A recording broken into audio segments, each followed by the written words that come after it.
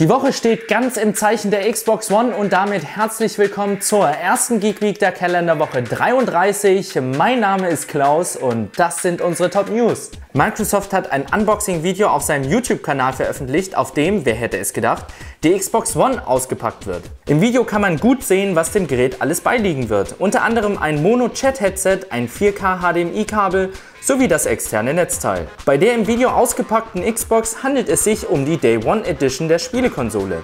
Dieser wird in einer speziellen Verpackung ausgeliefert und enthält einen sogenannten Day One Edition Controller, der ein Achievement und ein D-Pad in Chrom-Optik mitbringt.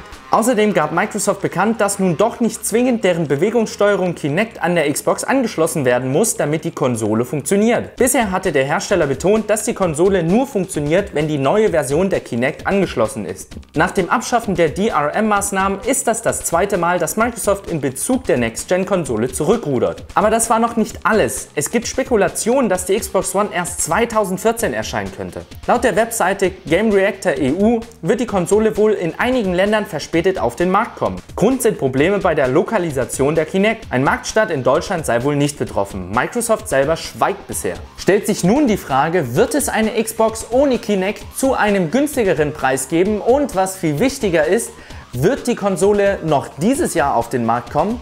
Was meint ihr? Schreibt es mal in die Kommentare. Bleiben wir direkt mal bei den Next-Gen-Konsolen. Irgendwie macht Sony mit der PlayStation 4 alles richtig, wobei Microsoft genau das Gegenteil tut. Um Spieleaufzeichnungen bei der Xbox One möglich zu machen, wird ein kostenpflichtiges Abo bei Xbox Live Gold vorausgesetzt. Fans der PlayStation 4 wollten nun wissen, ob eine PlayStation Plus Mitgliedschaft nötig ist, um Spieleaufzeichnungen mit Freunden teilen zu können. Shuhei Yoshida, Präsident der Sony Worldwide Studios und zuständig für First-Party-Spiele von Sony, versicherte gleich mehrmals über Twitter, dass dieser Dienst weder für das Mitschneiden noch das Veröffentlichen von Spielszenen notwendig sein wird. Die PlayStation kann die letzten 15 Minuten eines Spiels mitschneiden, die dann mit Freunden geteilt werden können. Bei der Xbox One sind es, trotz kostenpflichtigen Dienst, lediglich 5 Minuten. Ich würde einfach mal behaupten, das ist ein klassisches Owned. In den letzten Tagen gab es massig News zur neuen Grafikkartengeneration von AMD, wobei in den Wochen zuvor der Informationsfluss ja eher zäh war. Verschiedener Meldungen zufolge wird AMD seine neue Grafikkartengeneration am 25. September in Hawaii vorstellen. Ein Release wird für einen Monat später erwartet. Weiterhin soll die neue Grafikgeneration noch in 28 Nanometer gefertigt werden. Die Graphic Core Next wurde aber von AMD weiter stark verbessert. Die neue Architektur soll laut Semi-Accurate in sämtlichen Produkten vorhanden sein. Andere Quellen berichten, dass die neue Architektur nur in den High-End-Modellen der neuen Grafikkartengeneration vorbehalten ist. Alle anderen Modelle würden nur auf eine leicht überarbeitete Version der aktuellen Grafikkartengeneration basieren. Im chinesischen Forum ChipHell ist ein Screenshot aufgetaucht, welches das Ergebnis eines 3D Mark Firestrikes zeigt. Dieses soll von einem Qualifikationssample stammen, das auf Volcanic Island basiert und mit 4860 Punkten sogar Nvidias Boliden Titan schlägt. Im selbigen Forum sind auch Bilder zu sehen, die das angebliche PCB einer Grafikkarte aus der neuen Generation und die dazugehörige Pressebox zeigen. Fuzilla soll indes erfahren haben, dass das Topmodell der neuen Grafikkartengeneration in einem Preisbereich von 549 bis 599 Dollar liegen soll. Sollten alle Gerüchte stimmen, dürfen wir uns auf eine neue Grafikkartengeneration von AMD freuen und den Preiskampf zwischen Nvidia und AMD in eine neue Runde bringen. Blizzard ist zu diesen hier ganz schön in Add-on-Stimmung.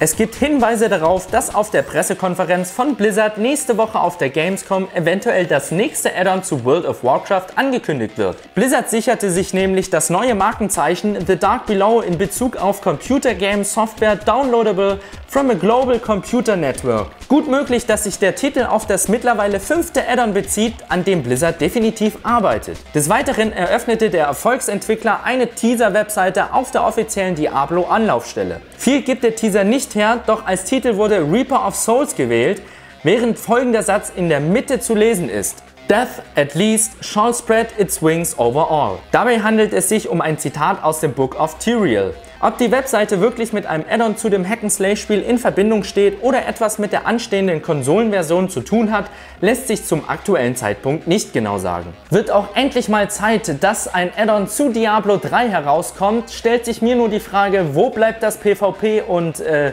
wer zockt eigentlich noch WoW? What?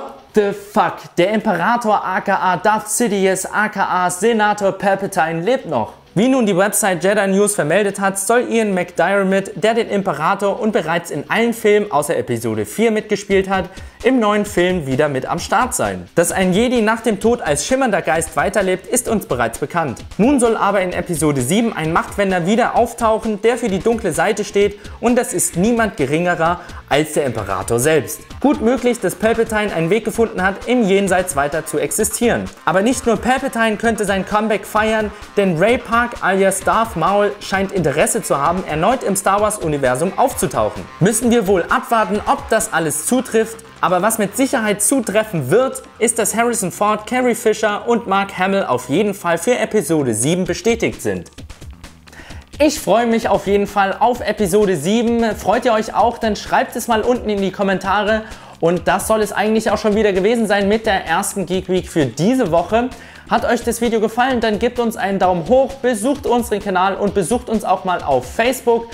Das war's hier von mir. Ich gehe mir jetzt nochmal die paar Teile in den Kopf pressen. Haut rein!